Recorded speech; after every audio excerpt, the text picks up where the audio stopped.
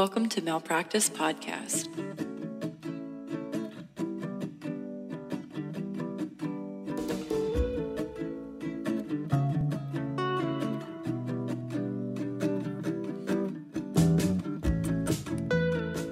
Is it my turn? I think so. Are you ready to get started? yes, absolutely. I like saw you point and I was like, is that just a, a fun greeting or is that my turn? Yeah, I think it's your turn. I don't know. Honestly, at this point, what is a turn anymore? yeah. What is a turn? I'm Jess, by the way, y'all. I'm Sydney, And this is malpractice. And and welcome. And welcome to the show. and I haven't slept. I'm exhausted. so if I make zero sense, excuse me permanently from all things, all responsibilities today. I think that that should that should go at the top of every episode. Please excuse us for all things. yeah. Um speaking of which, I have a correction. I said for some reason I said that Elizabeth Holmes in our last episode, I said that she was 30 and someone corrected me on YouTube and thank you for it was like a gentle correction that she's 37. Well, I think you meant like she's I in don't know her why. 30s is what I really think you Yes, meant. that's that's a 100% what I meant. When I saw 37, I just rounded down. I was like she's 30 I think you were like, what I want people to say about me when I'm 37 is that I'm 30. That is correct. Yes. I am 29 as we speak, and I'm coming. This is my birthday month Birthday now, month. and Birthday month. And I want people to round down for me. hmm So I am 30 and I forget all the time. I'm like, I'm 25. They're like, no, you're not. I'm in my 20s, is what I like to say. So that's where that came from. Maybe a personal. yeah, I think you're just like, Elizabeth, you're going to go to prison, but like you're in your, your 30s. So you're it's like, in your big deal. 30s. You're you- 30. You, you're can 30 be fine. Yeah, you're 30 esque. You're 30 ish. Yeah. Yeah. Um also thank you everyone. So many people have left left like nice comments and reviews and stuff in the last couple of weeks. Thanks for that. We love it. You're a bop. we appreciate it. If you You haven't are a left us bop, a y'all. review, I'm going to say it at the top. Please do. We like it. We do like we it. love like feedback. positive feedback. yes, positive feedback. I'm not saying Okay, yes I am saying if you don't like us, don't write us a review Yeah, just or leave a comment. Yeah. Talking to you. if you hate it, Get out. get out of here. Go, go somewhere else. Uh, Jess and I celebrated Halloween this weekend. We hope that you all had a very spooky and good So- Halloween. Yes, we did. And Sydney was like, "Oh," because I was like, "Yeah, I'll go somewhere with you." I never go anywhere, so she was like, "We about to go." We've mentioned this before. She never wants to go anywhere, and we did go did. somewhere. we went to that. What was it? Like a Harry Potter dessert bar pop up. yeah, yeah. Which unsolicited feedback for them. Don't say it's a pop up bar unless you have at least one alcoholic beverage. Yeah, yeah, that's my only we was confused. Yeah. they had like a mojito on the menu that was like a limeade. It was like a minty limeade, and I was like, that's, That's false lemonade. advertising. Yeah. That is- I'm suing you. If you call it a rude. mojito, you better put some fucking rum in it because I'm coming for you. Yeah, just fucking come on. What the heck? Just come on. Just let us live. I was like, Yeah, I mean, I got the best dessert, arguably. you really did. Yours was the best. We went with a group of people, and Jess, everyone was like, Jess's is the best. It was like a blood orange It was so good. Italian ice situation. Whatever. It was a But. I will say there was no warning for the heat. Oh, yeah. I touched the cup because it had a smoking effect and like burned the shit out of my hand. Yeah. And then I was mad. But then it was good. It was a balance. It was a balance. Here's a science pro tip. If you put dry ice in a cup to produce smoke and you put it in water, it gets really fucking hot. Yeah. So when the person you hand it to touches it, it's hot. I was like, what kind of Italian ice is this? Why is my ice hot? it makes zero sense. I did not order this. no, I don't want it. Oh, and my sister, um, Yeah. this weekend, she was born on Hall- Halloween. I don't know. I was Halloween. she was born on Halloween. Happy Halloween. and so I always, I'm like, oh, you little treat, because it's her birthday. oh, But she, That's cute. um, this weekend she's engaged, so we actually found her wedding dress this weekend too. Rebecca. Yeah. That's good. Gotta say it at the top because last time I said that she got engaged at the end and she didn't listen all the way through. And she was like, You didn't say I was engaged. Well, that's on her, number was like, one. Check the facts, bitch. I did. yeah, you need to listen to the full episode. Maybe I should be mad at you. Yeah, I, I was. Of course, I was reverse mad. I was like, First of all, First of all, joke's on you. when I first started teaching, I would do this assignment where there was long instructions. And then at the end, it was just like, just put your name on this and turn it in. Oh, nice. And so that one kid would be like looking at me like, oh, I read the whole thing. Everyone else is like filling it in. yeah, And they're like looking at me, looking at it, looking at me, looking at they're like, What the fuck? I'm about to turn it blank. And I would Yeah. be like, Hmm, read the instructions. a bop. Because you see the one guy like put his name on it and walk down, and you're like, "How is he done? I just wrote my name." And then you read the instructions, and you're like, "God damn it!" That speed reader. He read he read all his AR books yeah, when he was in elementary school. yeah. Eric was allegedly an AR champion. I was too. okay. I did Blue Bonnet books. I was like, Oh yeah. I had read every single book on the list. I was taking the test. I made 100. Then I didn't have shit to do the rest of the year. Yeah, that sucks. Dumb. But I read them all. Do you remember when we used to get like assigned summer reading in high school? Yeah. And they'd be like, you have to, before you come back, you have to have read these books. Do you remember the book Silas Marner? yeah. I, to this day, have never read that book, and I wrote an entire book report on it. It'd be like that sometimes, I guess. And I literally think I used Cliff Notes yeah. and I used like the front of the book. I was like, this book is about aging. And Silas. Could be. do you remember when we had to read um like The Hobbit and Lord of the Rings oh, hell yeah. in ninth grade? That was a bop. so I have had those books on tape hmm my entire life. Like someone reading the books. Yeah. And when my parents would drive us to Michigan, we would listen all the way there to The Hobbit and all the way back to Lord of the Rings every year since I was like two years old. Wow, yeah. So your girl has like those books memorized. So Yeah, I did not yeah. crack a cover and I've aced all of that because it's a literally I have them all in my head. Because you're like, it's actually part of my family history. I, I swear to God, I was like reading this. yeah, Like I know all of this. I know everything that happens here. yeah, definitely. I'm not even going to start. I love the Lord of the Rings and Hobbit books when I was a kid. I was obsessed. So good. So good. Um That and Harry Potter. I mean, Oh hell yeah. If you haven't read Harry Potter as an adult, you are missing out. Michelle. Michelle, Talking to you. what up? when Eric and I first started dating, I forced him to read it because I was like, this is my favorite thing. I have to know if this is going to be a problem or not.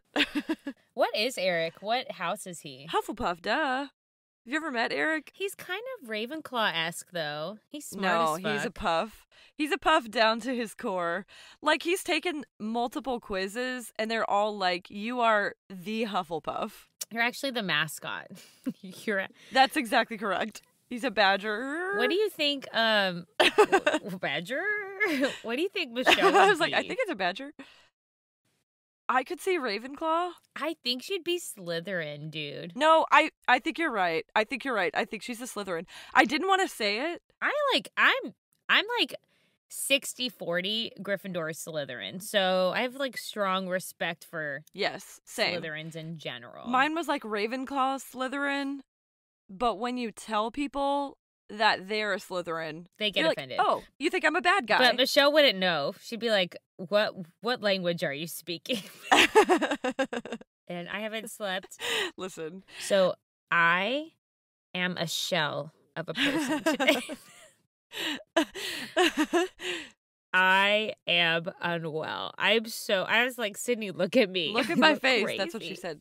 She put her face Oh right next to the Zoom camera and was like, "Look into my eyes." I literally put on the Zoom and I was like, this is why we don't record video and put it up because I sometimes look like this and people would be like, I'm actually filing a report for someone to come do a wellness check on you. You are not okay. I think I forgot to put on bronzer this morning and I look like a Victorian ghost. So I would rather look like a Victorian ghost than whatever is happening on my side of the screen right now. just getting into the Halloween vibe. We're we're It's spooky for spooky. Halloween. Speaking of Halloween, Let's do it. on this Halloween adjacent episode, I looked up the most horrible medical professionals and I picked one. Yes. And this is the face, first of all, this is the face of regret for a lot of reasons. Yeah. But this is the face of regret because he sucks big time. His name is Michael Swango. He is a creep. That's it. That's the. I'm so excited. I've been he sucks. I've read about this one several times. It's been on our list for a very long time. I'm so excited that you're doing this and I'm going to settle in and I'm going to get ready to be very creeped out because I don't know any of the details. He sucks so hard. So I will I'm gonna say this, like he's a big gross creep. I'm I'm not including victim names in this episode because I actually don't know and or think based on my research that people besides there's one lady who went on and to like do an interview and there's a couple others that have been in interviews but yeah. I think with the way he violated them, I just don't want to like be a part of like re-victimizing them or like Okay. putting their information out there. So Okay. I'm not gonna say names. Okay. He's just like authentically trash. Okay. So um just caveat. Also, there is mention of um suicide in the episode, so trigger warning. Yeah. I will warn you right before we get to there that point too if you need to skip ahead, but that it's just a blip on the radar of this story, but it is in there and I don't want to. I think I said radar, but I meant radar. Yeah. Let's start at the beginning, which is also not a great place to start for him because the moment he was born, the world got a little bit grosser. Oh no. Um, Joseph Michaels, I, I put Wango, but his name is Swango. Is a crazy last name anyway. Honestly, it is kind of cool, but like he's trash. Yeah. He was born October 21st, 1954, in Tacoma, Washington, to Muriel and John Virgil Swango. But he was raised like in Quincy, Illinois. So Okay. his dad was in the army and they moved around a lot, but his mom did divorce his father, and so they eventually settled in Quincy. As a young boy, he was like obsessed with death. He was fascinated with reading stories about the Holocaust, Uh huh. and he kept scrapbooks of car crashes and murders. You can't see this. Scrapbooks. My jaw dropped to the floor. Like Scrapbooks. that's Yeah. creepy as fuck. Yes. If your child is doing that, get them help. Hashtag get him help. Um, he went to a Catholic high school, which is Quincy Catholic uh, Boys High School, uh, to be specific, and he graduated valedictorian with an IQ of 160. oh wow. We hate a smart murderer. Yeah, that's the worst. They're the worst. He played the clarinet also, which I don't know anything about band. I I failed at trying it when I was in band. Um, so he was a member of the band. He was super smart. Even though he went to Catholic school, he was raised Presbyterian. hmm After high school, he served in the Marines and was given an honorable discharge. So, besides this like creepy shit of keeping scrapbooks, up until this point, he was fine in theory. Like no no complaints. Yeah, he's like allegedly a successful human, Right, except for the scrapbooks, which is like a major except for the alert. scrapbooks. Yeah, that's that gonna shit is creepy as fuck. Feels like that's gonna come back. Yeah, keep, Okay. we keep keep that coming up. Yeah. okay, gross. So he ended up attending Quincy College and he majored in biology and chemistry. And then he went to Sou- Southern Illinois University School of Medicine. At SIU, people started to notice he was like not quite right. okay. So, for example, at some point in his collegiate career, he wrote a thesis about the poisoning death of a Bulgarian writer, Georgi Markov. People were kind of like, why are you writing that? like, why is that That's your thesis? thesis? Yeah, he ends up being known as the poison doctor. So we see it all starts to make some sensington right here. Okay. Yeah. Also, can I just say, and this is just me, I feel like in medical schools, if you notice, if you're a medical student and you notice that someone is not quite right, it feels like that's a good time to like maybe maybe let someone know So the because you don't want a doctor that's not quite The right. The problem with this story is that a lot of people did say something's wrong with him, yeah. but the administration along the way like ignored people's concerns. That's such a fuckaroo because you see it over and over and over. Like in the podcast Doctor Death, like they just kept Yeah. passing him around because they were like, "Well, eh, what are you gonna do?" We hate it. We hate it. And they just keep doing it. So, They just keep doing it. Swango, he was really smart. He graduated from Quincy summa cum laude and got an American Chemical Society award. Me too, bitch. But he was what? I got an ACS What award. Okay, sorry. But he was known as like academically super lazy. Okay. He even preferred working as an ambulance attendant rather than the focus on his studies. Side note, there's nothing wrong at all with being with working in an ambulance. Yeah. You literally save lives. Yeah. But from what I understand by my research, he literally prioritized that work over his medical school right. studies. Which, if you're in medical school, you can't do that. right. Yeah. And some like weird stuff started to happen around him during that time. Oh no. Yep. So really, I think the problem is like he just wanted to be around dying people Okay.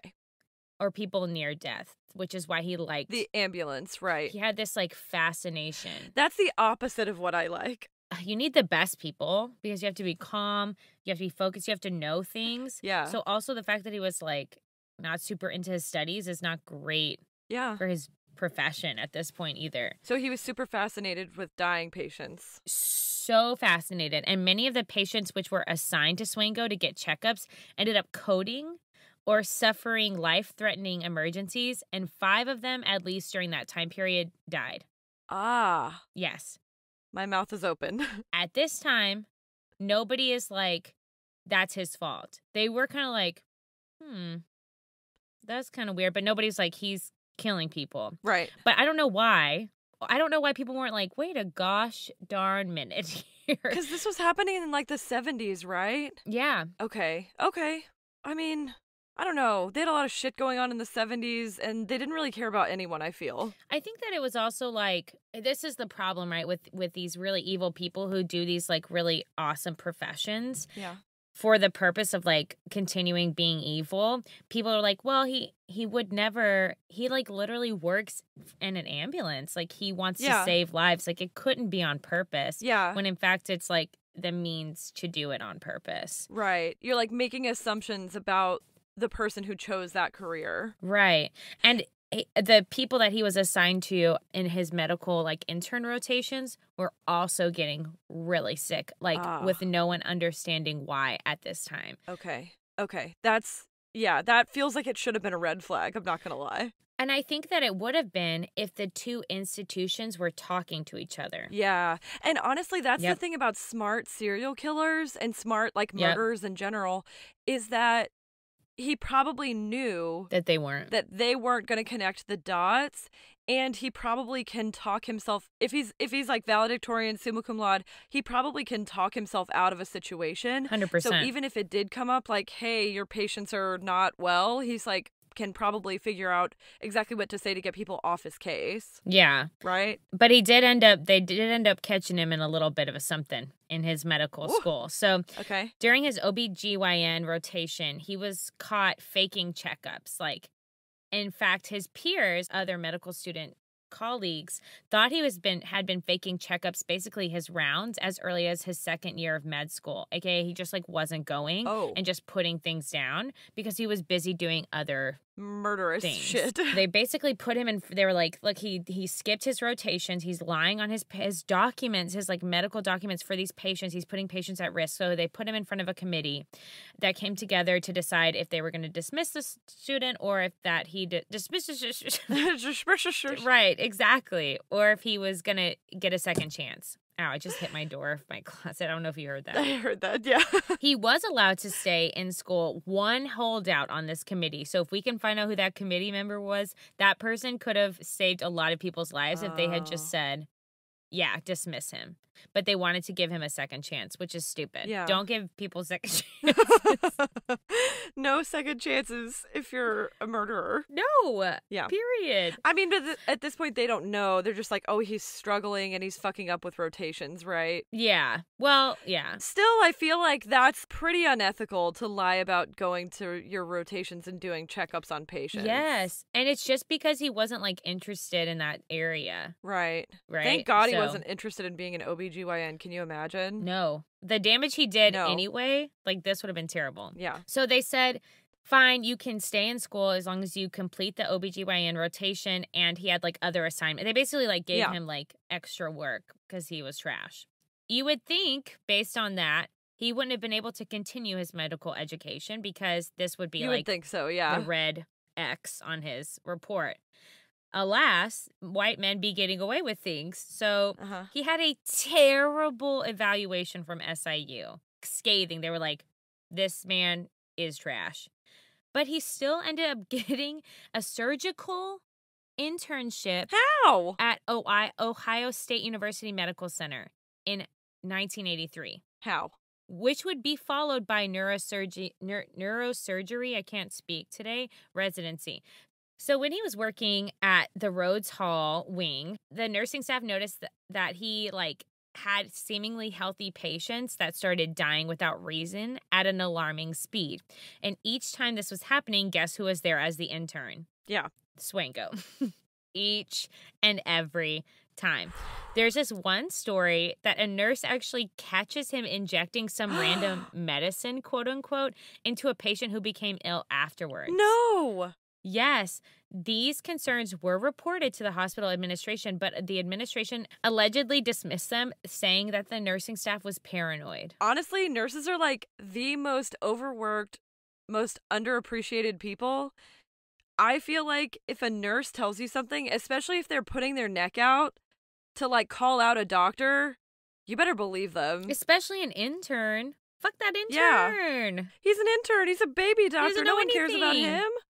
Yeah, fuck that guy. Right. And there's this other thing, right? That's like, I mean, we could really get into this tangent about how nursing staff at that time specifically, Yeah. even now, are Let's mostly do it. I love identifying individuals, and the hospital administration are mostly not. Yeah. Well, and also just do your research. Like you can decide for yourself if randomly healthy patients started dying. Yeah. That's like a paper trail. Anyway. If we learned nothing but this one thing from Grey's Anatomy, you do not fuck with the nurses. No, you shouldn't. So I hope that they Same. spit in his food. That's gross, but I hope they did. Well, I hope someone did. I don't know. At some point, I'm sure someone did. I hope they licked his stethoscope before he put it in his ear. Ew. Wouldn't that be gross? So gross. It's like a wet Yeah. willy by proxy. Horrible. Okay, even though he cleared the investigation, he was like not hired to continue at that place as a resident after his internship. So at least that he wasn't he wasn't allowed Okay. to keep even though they had that intention when they brought him on as an intern. yeah. They even said like yes and then a residency. They were like, "Nah, Yeah. should be crazy." Because on paper, he looks like such a good candidate, Yeah. except that bad review. That terrible review. Yeah. So he completes his internship and then he returned to Quincy and he started his work as an emergency medical technician with the Adams County Ambulance Corps. So this is like two things. His true love, like being right next to people who might die, and also super fucking surprising because he was fired from a different ambulance service for making a heart patient drive to the hospital instead of taking them. Uh uh I really feel like he just be getting away with shit and I do not understand. Left and right. Like a resounding WTF from everyone right now. okay, wait. So at this point, he's an ER tech. So he's no longer a doctor? He still like is a doc. He graduated medical school. He just never he didn't get into a residency. Okay, okay. So at this point, he's working as an ER tech, not a doc- not a physician. Okay, because you have to do a residency Mhm. and get like board certification to be a doctor. So Yes. he missed that step. Now he's an ER tech. Okay, he he will try again, but he's he's leaving it on the on the back burner of for course, now. as a garbage. So his time, oh right, at at this service, it's sprinkled with crazy town. So the paramedics on staff began noticing a pattern that whenever Swango was in charge of preparing coffee or bringing in any food, people, as in his colleagues, became really sick, and they could never find a cause. his coworkers. Later in that year, he was arrested by the Quincy Police Department, and they found arsenic and other poisons in his possession. Uh-uh. Cue moment in the movie where things start making sense. Oh no. Yeah. Oh no. You can't poison your Yeah. coworkers, my dude. I mean, you literally can. He did, but you shouldn't. That's crazy. That's crazy. Right. So it's not now it's less about someone uh, dying. yeah. That's like his patient and the power dynamic. It's more about just poisoning people for the sake of poisoning Yeah. people. And people that worked with you. Also, like, what if they had died? You're trying to be a mass murderer? Like, that's a mass murder, right? Oh, he's a 100% a mass murderer. Oh my god.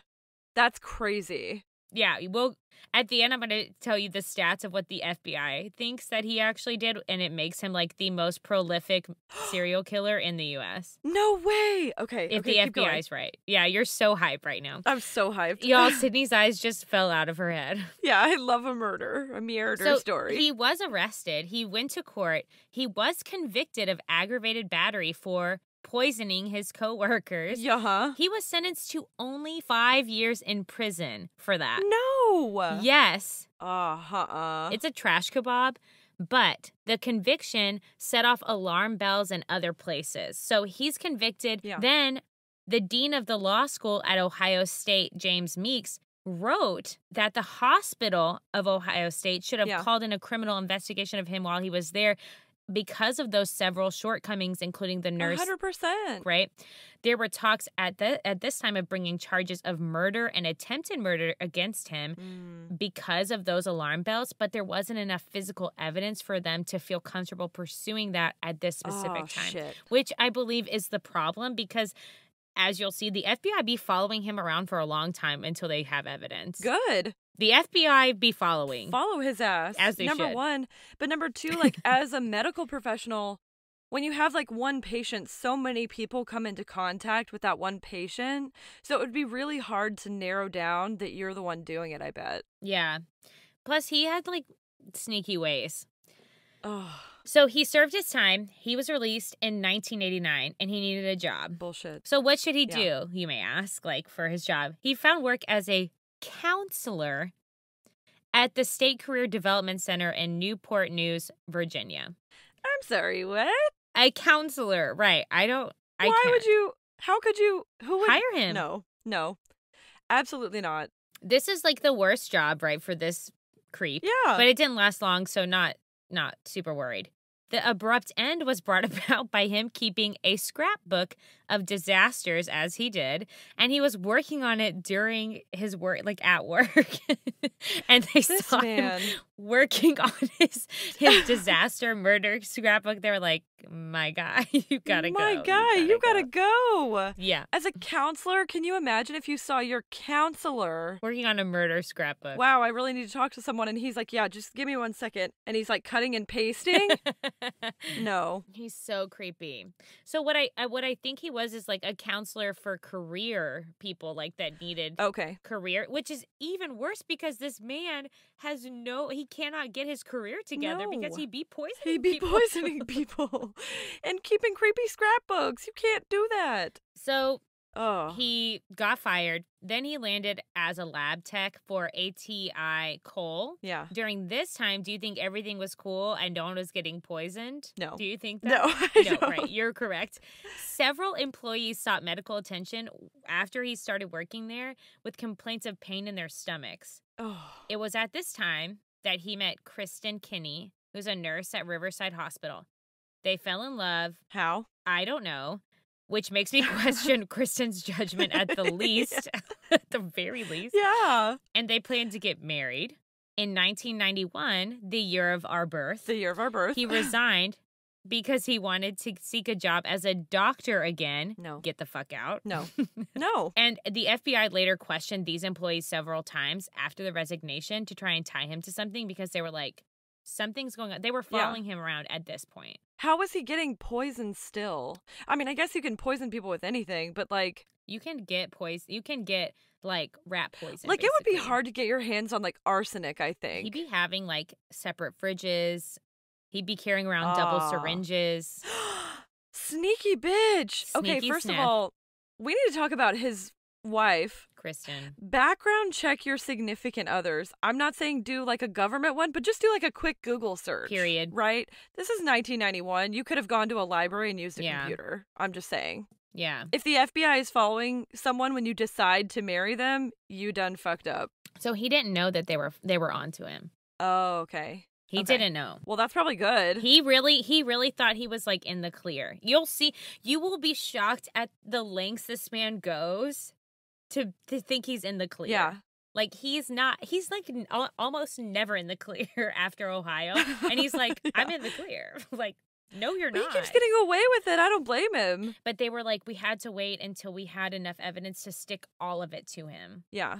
So, okay. So he wants to be a doctor again. He's like, I can't be a counselor, whatever. I don't want to be a lab tech. I want to be a doctor. And Kristen is like, He's tried many Kristen jobs. is like, that's a great idea for you, right? She's in love with him. I don't understand. Kristen, you know, my dog.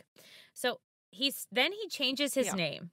That's always a good sign of character and nothing suspicious going on. He just randomly changes his name to Daniel J. Adams. you can't just do that, right? He deadass did. He applies to a residency program at the Ohio Valley Medical Center in Wheeling, West Virginia, and started working at Sanford USD Medical Center with his new name.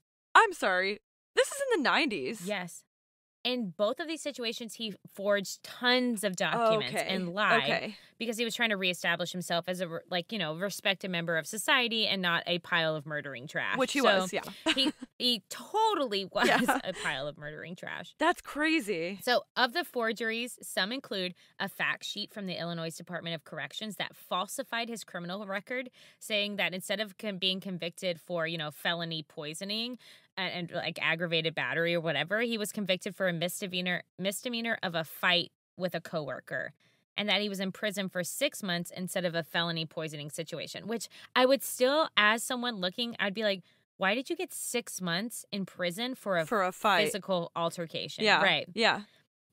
And he forged a restoration of civil rights letter from the governor of Virginia stating that his right to vote and serve on a jury had been restored based on reports from other people that Swango was like not committing other crimes and it was just being like an awesome person. He forged a letter from the governor of Virginia. That's so f- ballsy. It's, I was the balls you would have to have to be like, I am writing from the governor's I'm office. fine. Actually, the governor says I'm fine. The governor is my best friend. I go eat yeah, there we're bros, day. actually. So, So, yeah, he's like forged a shit ton of documents. I was just like, here you go. And people were like, sounds nice. And like love it. Yeah. passed him on. So while he was cur- at Stanford, he had a great reputation. And I think he got a little big for his britches because he was like, I'm getting Yeah. away with shit. I'm getting away with shit. So he, he was like, Does a dance. yeah, dance. Getting away with shit dance. I'm getting away with shit. That's what he was doing. Yeah. He made a huge mistake at this point, and he tried to join the American Medical Association or AMA. Mhm. which did a better background check than the medical center he was working at, which is also alarming. In all, it's just I'm alarmed. Just yes, be quite alarming. I feel Like alarmed. why? I'm alarmed. Yes. They found out about the poisoning conviction, and so did the Discovery Channel, which the Discovery Channel. which aired an episode of Justice Files that included a segment on Swango. Yes, I'm for poisoning his coworkers. sure.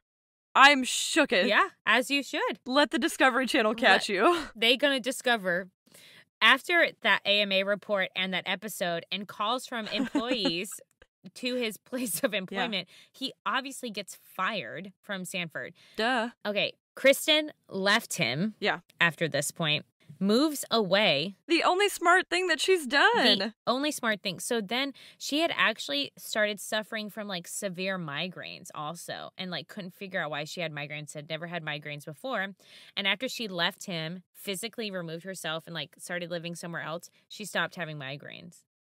Oh my god, wait, does he have like Munchausen by proxy? I don't know. May I think he's just a psycho. You know what that is? Yes, yes. Like Like the thing where you make people around you sick Yeah. so that you can um like take care of them, I guess. Maybe Yeah, he but he didn't take too. care of anyone. He just poisoned the shit out of them and Oh, was like, okay. "Good luck, bitch." I don't think that's Munchausen then. That's just asshole syndrome. that was good. So then Swango goes into the wind, and the A- no one can find him for a bit, a minute. Mm-hmm. He ends up in a psychiatric residency program at the State University of New York at Stony Brook Medical uh, School of Medicine. Y'all. His first, I can't, I don't I can't. I don't. I can't. I don't. Like he just keeps failing up and it's so Yes. frustrating. It is that white man success pattern. I can do whatever I want. Literally. That's what he's doing.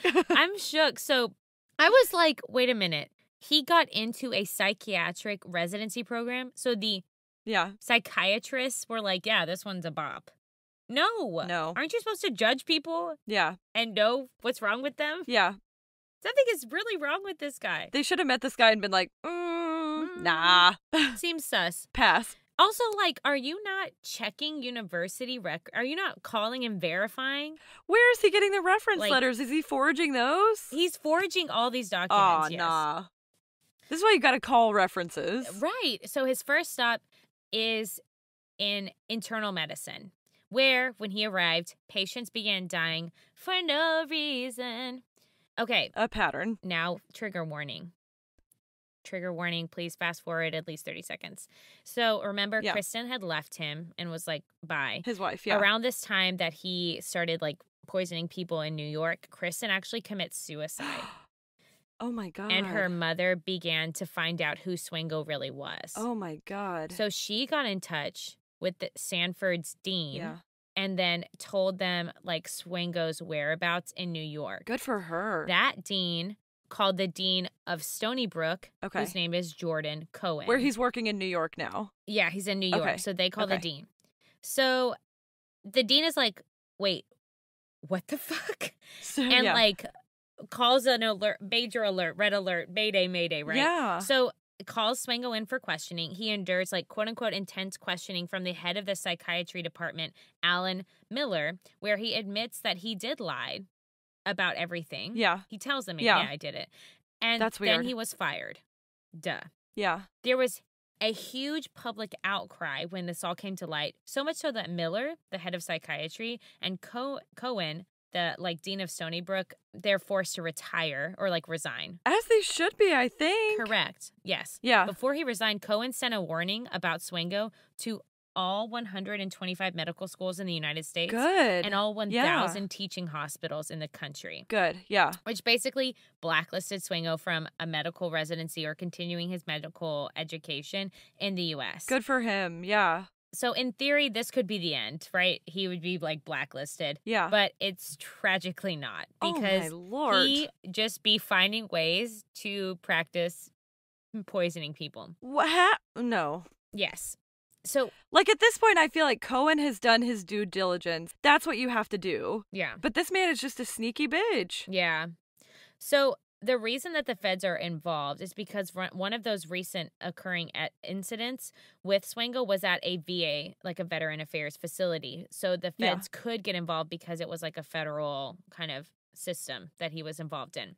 That that put him on on their list. Yeah. He goes dark again after after they like released him from New York. He's like, "Fuck, I got to find a new job." yeah. until like 1994, where the FBI finds that he's living and working in Atlanta as a chemist at a computer equipment company's wastewater facility. Oh nah. He's trying Yeah. to poison So the- everybody. so the FBI was like, we can't do anything, but we got to tell the facility yeah. about who he is. So the FBI goes to that facility and it's like, here's Swango. Here's who you hired. They immediately fired him. They're like, well, shit, fired him. yeah. The FBI gets a warrant now for fraudulent credentials Okay. around that VA application. But they were a little late to scoop him right away, and he fled the country. No way. He skips on over to Zimbabwe. Why Zimbabwe? I don't know. They probably have like no extradition laws or something like that. So he gets a job at Min- Minay Hospital based on, you guessed it, forged documents. oh my. God. And what do you think starts happening here? He starts killing people. That's what he loves. Bitches start dying, part 45. Nah. But the poisonings here took a full year to be traced back to him. He actually sued his bosses at a rural hospital in Zimbabwe for wrongful dismissal, and he was aided by a civil rights attorney because he claimed this was malicious action due to his religious beliefs, because most of the population was not Christian and he was Christian. Um, I bet that the attorney was like, I'm an idiot yes, in Yes. retrospect. yes. And it's also said that he was four, he was 42 years old at the time, and he would tell people he was 27, I'm sorry. which is another crime to add to the list at this point. Really, Beg your pardon? he would just tell people he was 27. If you're 42, you don't look 27. I'll tell you that right now. you could say you're in your 40s. you could say you could say you're in your 40s.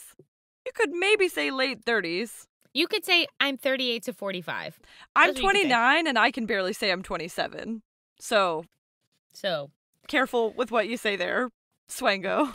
Swango. So eventually he was charged with these crimes and he got a lawyer, David Coltart. But Mhm. he skipped town again and wound up in Zambia. So Coltart would later recall he conned a lot of us, ably assisted by the authorities who refused to prosecute him. that sounds exactly accurate. Yeah. Yep. Coltart was also confused as to why Swango would go to court having the string of shit trailing behind him. Once he realized who he was, he was like, What the fuck are you doing? Yeah. while he was at that hospital, um, Menini, Meneni, I don't know, hospital, um, people said of him, we thought he was an angel of mercy coming to save people, but it was not long before we saw that this was not a very nice man. He turned out to be an angel of death. And that was actually, I remember, it was like a nun who was working at that hospital who was like, he was a bitch. That's a verbatim quote from that nun. he was a bitch. I don't want to misquote her, but it felt right. Yeah. So he liked to do rounds at that hospital alone. And he was, this is when people started noticing he was carrying two syringes No. and he had a small little fridge off in the corner that had his own supply of drugs that nobody was allowed to be in. Absolutely not. No. I did want to share a story I found about one of the patients that interacted with him. I'm not going to say um, this person's name. When he was in Zimbabwe, right? Yes, yeah. Okay. So this patient had suffered from sores on left his left toes, which resulted actually in the amputation of his left foot up to his heel. The wound was like basically healed. He was waiting news of a prosthesis from a Swedish charity so that he could continue working. They had only removed it up to the heel because Yeah. like that's that would still allow him to work. He was a farmer. Okay. Um, one night he says that he fell asleep and he felt somebody pulling down his pajama bottoms. Okay. I, he woke up to see Dr. Mike, which is what they called him, standing over the bed with an injection, which he put into my butt. Like he gave him an injection. Yeah. He saw him give him the injection. Yeah. Then he put it in his jacket pocket, waved goodbye, and walked away. uh uh. He was like, okay, Dr. Mike is giving me a shot. Tried to go back to sleep, but then felt his whole body go numb. Una- he was not able to move, so he tried to shout for help. He said he couldn't barely breathe. He felt faint. He managed to make like enough of a sound that a nurse rushed to his side. He told her what had happened, and Swango was called. Swango lied and Sure. denied the story. He said that the same thing had happened at that other hospital, and he didn't understand why people were lying about him, basically saying that it was civil rights. They were lying about him because, you know, I mentioned like Yeah. he was suing them for wrongful termination because he was Christian. Even though they later found that syringe top under the bed Oh that, yeah. from that Like injection. proof. Yeah. Nurses said they couldn't do anything because he was the doctor. Yeah. So this guy lived, he did survive, but the entire limb became septic really quickly, even though it was healing properly, right? Yeah. So it was perfectly fine. He was about to get a prosthetic, and now it's septic. He had to have his leg amputated up to his knee. And now he lives on his plot of land. He can't work. He can't farm. so he's like destitute. That's so sad. Oh, that's rough. That's a rough story. I know. That's just like one of many, right?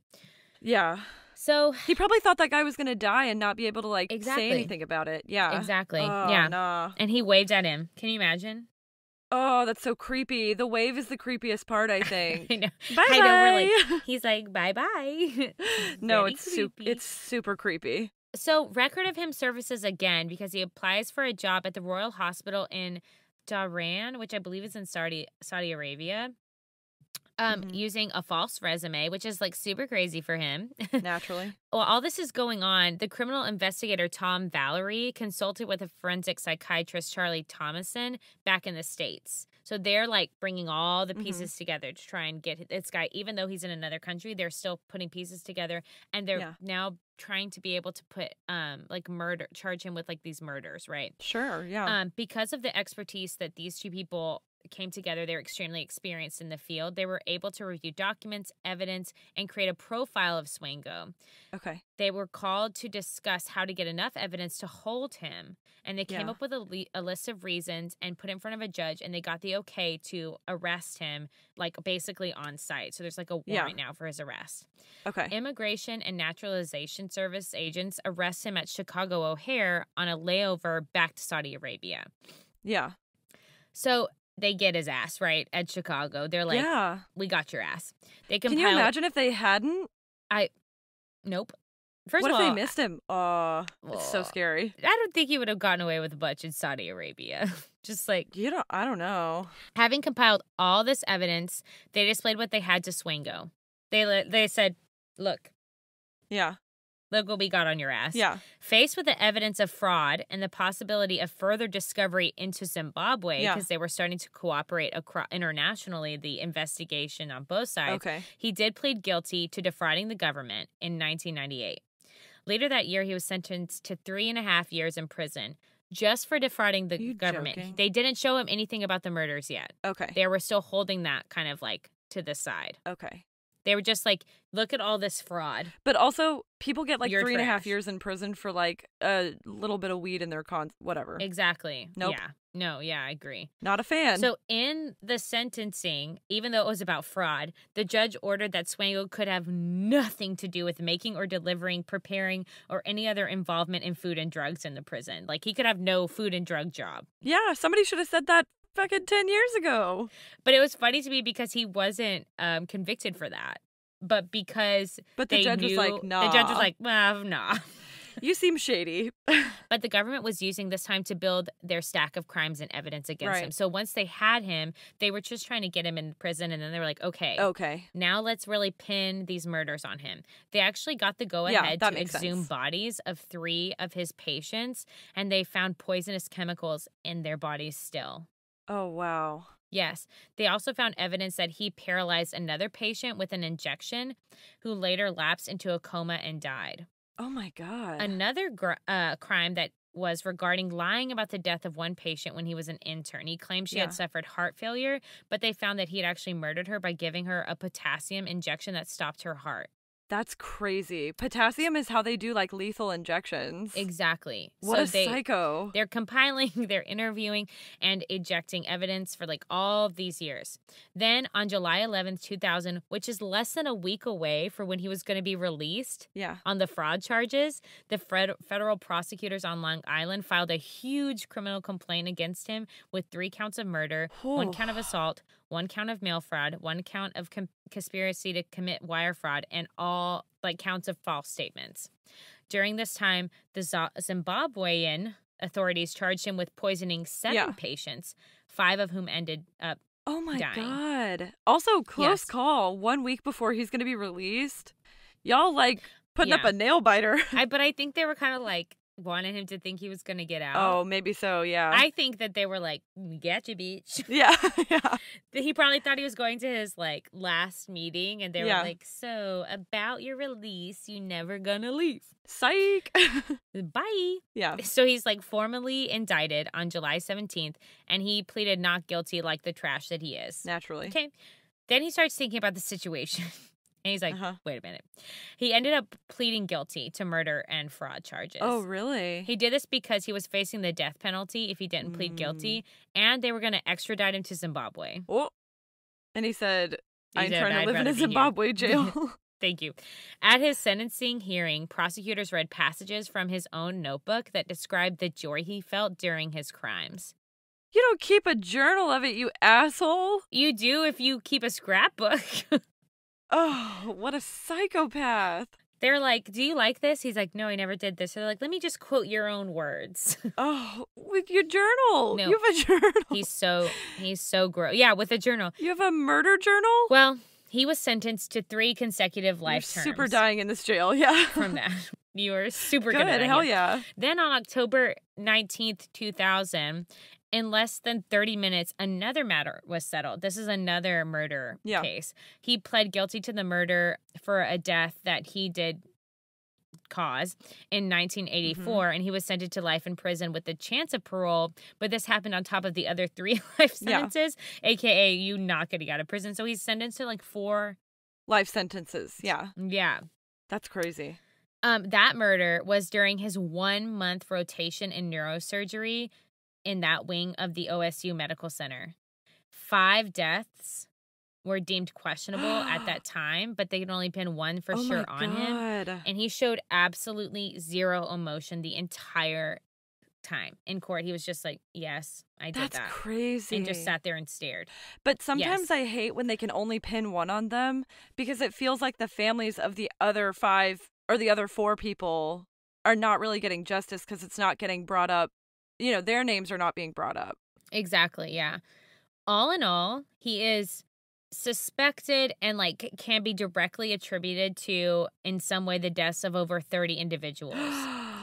However, That's a lot. the FBI actually thinks he's connected and responsible for 60 deaths, which would make him that worst asshole and like the most prolific serial killer. Yeah, 60? 60. Yes. My lord. That's so crazy. he didn't really vary his methods of murder. He had like two like types of murder. He would Yeah. either use poisons like arsenic for his like coworkers and loved ones, Oh, sure. How you do? and with his patients, right? He would use poisons sometimes and or he would just overdose them for Oh, drugs they were already prescribed or he wrote fa- false prescriptions for dangerous drugs when the patients did not need them. When asked for a motive, the principal prosecutor, Assistant U.S. Attorney Gary Brown, said basically, Dr. Swango liked to kill people. And that's what I know about that. That is astonishing. You did such a good job. That was so good. Are you shook? I hate him. I am shook. I don't know what to say besides Goddamn. this guy is like a total sociopath. Wow. He's super ugly too. Did you look him up? I feel like no, let me look him up. Their first line of prosecution should have been his face. Your honor, look at him. I know. He did it. He did it. Look at him. Your Honor. Look at this man when he's in court. He is guilty. I rest my case. Like, like when I started the episode, like he's a creep. That's the in. That's it. This man is a That's fugly slut. Do not trust him. that Period. that would have been my Mean Girls reference defense, and I would have been like, "We rest our case." The crime. I will say the Crime Junkie podcast did an episode on him. Yeah. and it's pretty good. And I I recommend if you want to know even more details. Um, I really try to keep it to like the medical stuff, and like he bopped around so much that was really good. And then there's um like a book, Yeah. The Blind Eye: The Terrifying Story of a Doctor Who Got Away with Murder, um, Yeah. by James Stewart. You should like if you are like I want to know more about him. I read a couple like sections of it, and it's really oh, good. I want to read it so bad. He's a piece of trash, but he's in forever jail now. good. He's still alive. Mm-hmm. no way. Oh, that's crazy. Oh, you did such a good job. That was I was on the edge of my seat literally the whole time. You were like gasp. I feel like this is one of the craziest murder stories I've ever heard. And you know I've listened to a bunch. It's really crazy. I'm going to be thinking about this, I Yeah. feel like, for a long time. If the prosecuting attorney is like, yeah, he just likes to kill people, and the judge is like, yes, I agree, Yeah. bye-bye. bury that man. But I do think it's good for him. I don't even believe in the death penalty, but I, I'm not. I do think it's You- good for him to live forever in a Cage. did he ever say he was sorry or anything like that? I'm so shook. No. He never said anything to the. That's so selfish. I hate. I mean, he's a murderer, but also, He was just like, I did it. oof, oof. That was so good.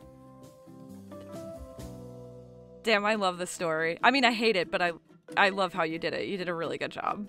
Thank you. Thank you. Uh, you should look him up. He's absolute trash. Hot garbage. Um, thanks for listening, you guys. Go subscribe, leave us a review. Go watch something happy about ponies and nice things. Kittens, maybe? Yeah, go Yeah. cleanse your brain after this, because this was a rough one. Thanks for thanks for listening. If you have a reco and you read something or you see something, DM us on our social medias. Let us know what you want to hear. We will keep on keeping on, bringing the Medical Crimington. Yeah. Or you can send us an email at malpracticepodcast at gmail.com. So we'll link all of those things in our show notes, including the Crime Junkie podcast about it, because we love Crime Junkie. Thanks for listening. We'll see you next week. And don't forget, Malpractice, makes perfect.